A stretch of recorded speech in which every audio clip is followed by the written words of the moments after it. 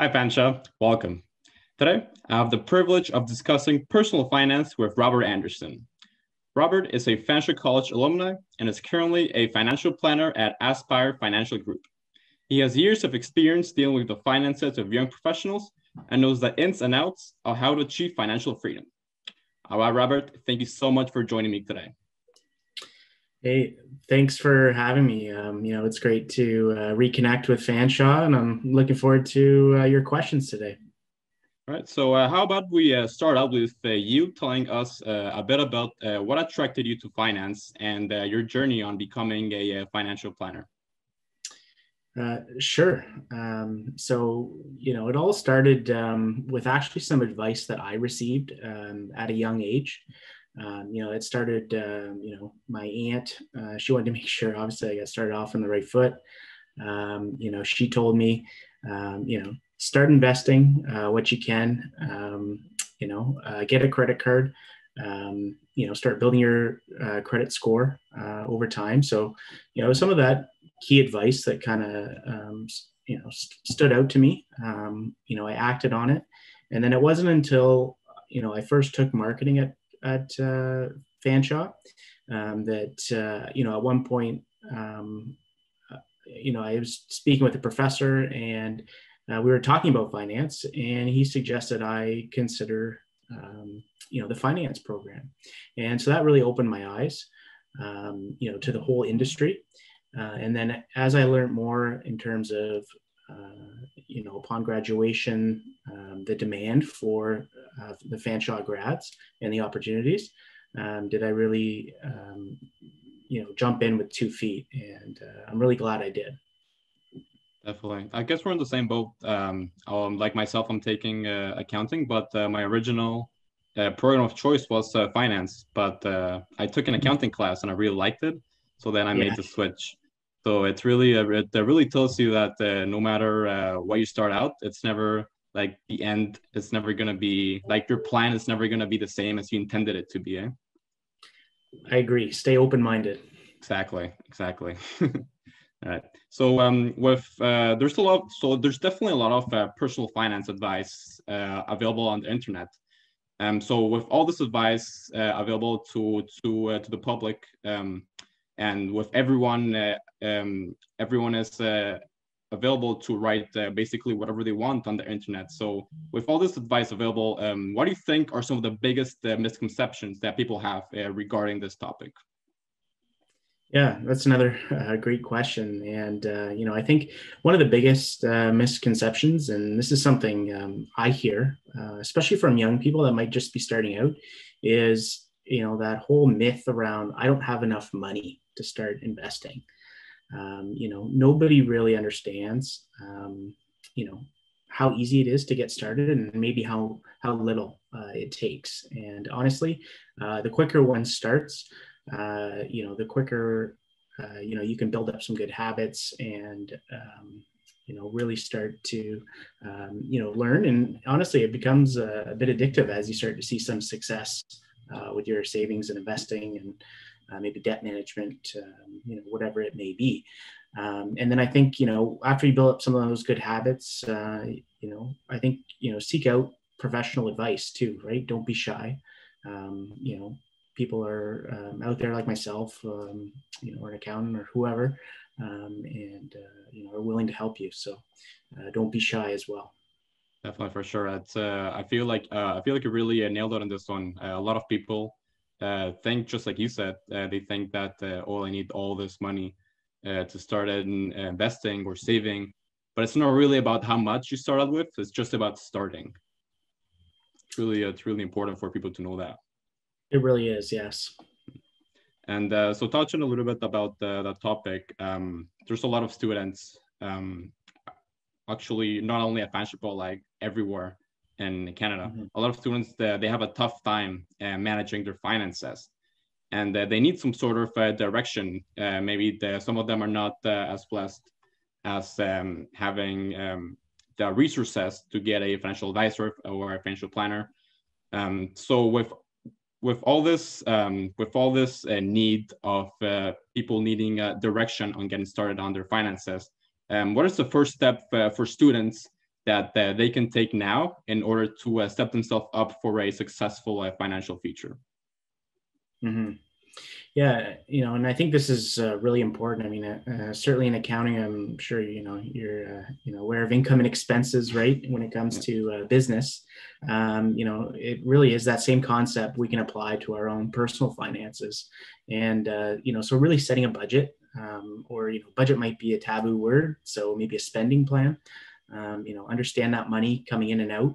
Um, actually, write it out uh, expenses. So, you know, what are your fixed expenses? So, you know, rent maybe or mortgage, uh, you know, property taxes, different insurance, um, things like that that are always going to be there.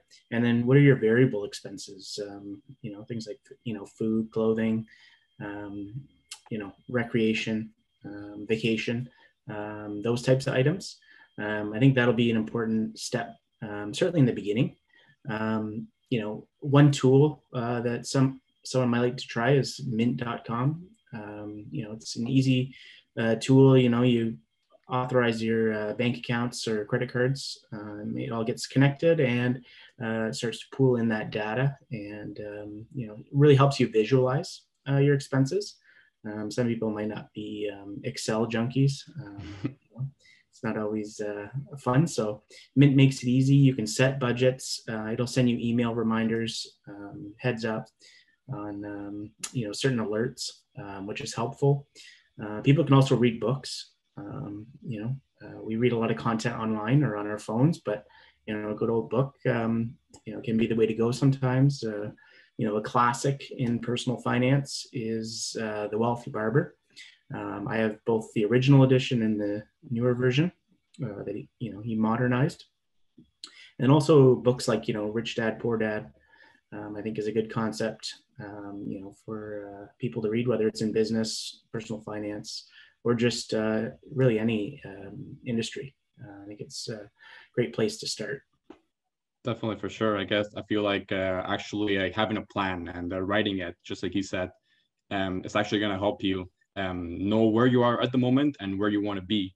And especially, like you said, uh, for example, an app like Mint helps a lot, especially in this day and age with all the technology that we have. It really could make your life really easy and it helps you track where you are at the moment and where you want to be. Exactly. And uh, you know once you build that good foundation and understanding um, then you know just build the rest of the house from there once that foundation's in place so. Exactly exactly. Just start out small and then uh, just uh, just uh, keep up the momentum and then you'll get there uh, sooner or later. Yeah absolutely. Definitely.